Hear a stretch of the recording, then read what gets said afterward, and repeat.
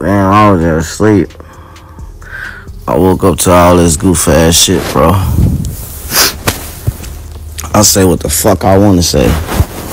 Anybody feel some way can suck my dick or do something.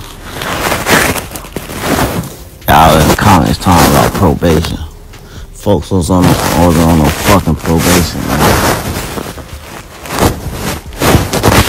Never heard a snippet of post that shit. What the fuck? Y'all ass mad. Them y'all friends. Um, bro, Tom wanna end that tweet. I ain't in doing shit. Um, bro. I ain't tell the blog to post my shit, bitch. Chief Keef turned his back on his homie, T Slick. Left him in the hood to die. Left him out there with ops and enemies to blah, blah, blah, blah, blah. Blick him up and shit like that.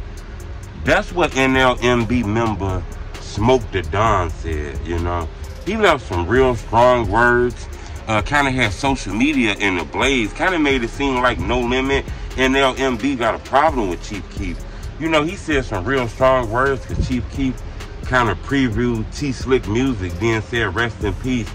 You know, No Limit affiliate SmokeDaDon felt like, look, if you'd have moved him out the hood, he wouldn't be dead right now.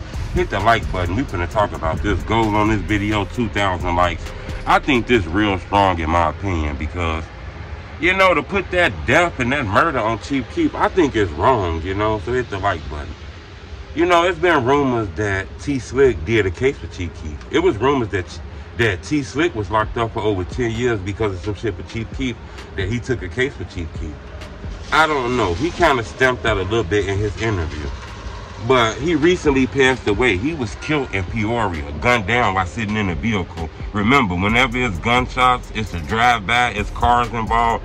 That's textbook gang slams, in my opinion. Uh, from the time I've been studying drill. You know, he lost his life. Chief Keef posted up like a preview of some of T Slick music.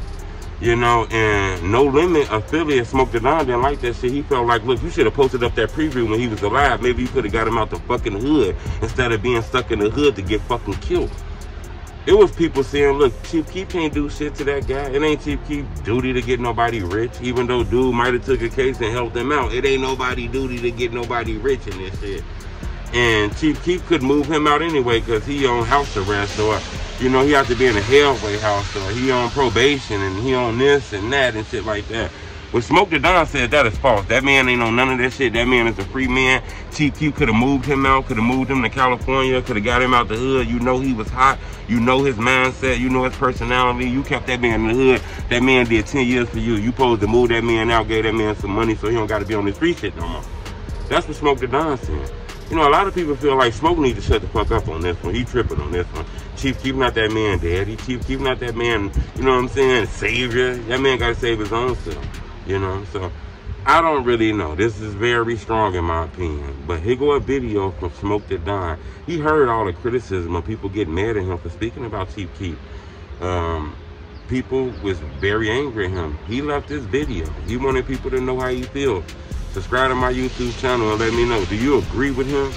Or do you feel like, yeah, this some hating shit?